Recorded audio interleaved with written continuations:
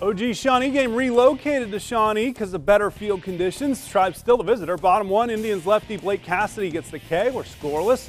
Top two, Tyler Hall finds a gap and barrels his way into second base with a hustling double. But OG works around it. The pitcher Grant Fierce helping himself as he comes and gets the pop up right by the third base line. Then induces a fly ball to right field. No trouble for Logan Ballaball running in.